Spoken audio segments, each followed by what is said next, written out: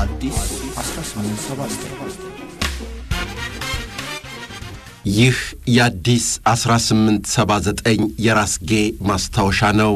ከአባታቸው ከአጼ በካፋና ከእናታቸው እቴጌ ምንትዋብ አብራክ የተገኙት ዳግማዊ ኢያሱ በዙፋን ስማቸው ዓለም ሰገድ ለ25 ዓመታት የኢትዮጵያ ንጉሠ ነገሥት ነበሩ።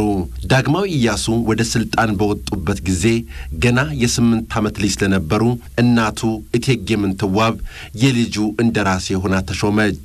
ነገር ግን የልጁ መንግሥት የሚፎካከሩ አካሎች የፋሲል ግቢን በመክበብ ጥቃት ማድረስ ጀመሩ።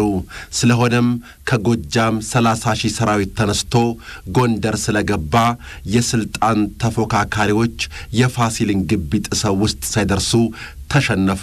በዚህ ግርግር ምክንያት እቴጌ ምንትዋብ በእንደራሴነት ሳትወሰን ራሷ ላይ ዘውድ በመጫን ከልጇ ጋር እኩል ስልጣን እንዳላት አወጀች። ዳግማዊ ኢያሱ በስምንት ዓመቱ ስልጣን ላይ የወጣ ሲሆን እንደ ታሪክ አጥኚው ፖል ሄንዝ አባባል ከእናቱ ብዙ ምክርን ቢያገኝም እርሱ ግን ብዙ ጊዜውን አደን በማደንና የጎንደር ከተማን በተለያዩ ጌጣጌጦች በማስዋብ ጊዜውን ያሳልፍ ስለነበር በብዙ ብዙዎች ዘንድ ይነቀፍ ነበር።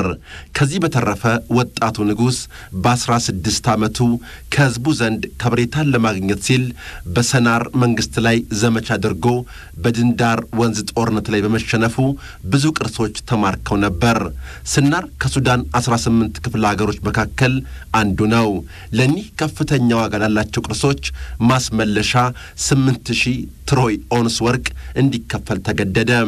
እንደ ታሪክ አጥኚው ዶናልድ ሌቪን አስተያየት ምንም እንኳ ለብዙ ዘመናት አመፅ የሚካሄድበትን ላስታን ዳግማዊ ኢያሱ በጦርነት ቢያረጋጋም በአጥባራ ወንዝን አካባቢ የሚኖሩ ነገዶች ላይ ግን ድልን ቢቀዳጅም በድንዳር ወንዝ ጦርነት የገጠመውን ሽፈት በሕዝቡ ከፍተኛ ቅሬታን ፈጥሮ ነበር።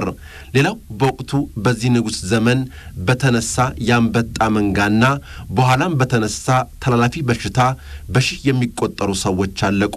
አቡነ ክርስቶዶስ ሲያርፉ ሌላ አዲስ አቡን ከግብፅ ለማስመጣት በቂ ነዋይ ታጥቶም ነበር።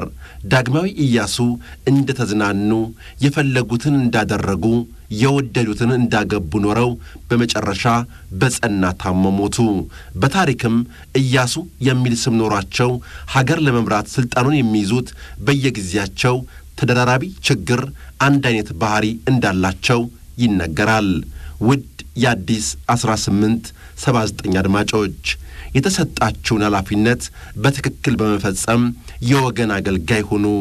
እናንተን ብሎ ለሚመጣ ወገናችሁ ፈጣን አገልግሎት በመስጠት እርካታን ፍጠሩለት።